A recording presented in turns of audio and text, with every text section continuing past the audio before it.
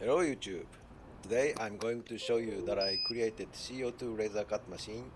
But first, I want to say thank you to you guys because I saw bunch of you guys video on YouTube for get knowledge and also learning for make DIY CNC roller, DIY CNC mill machine and CNC CO2 laser cut machine.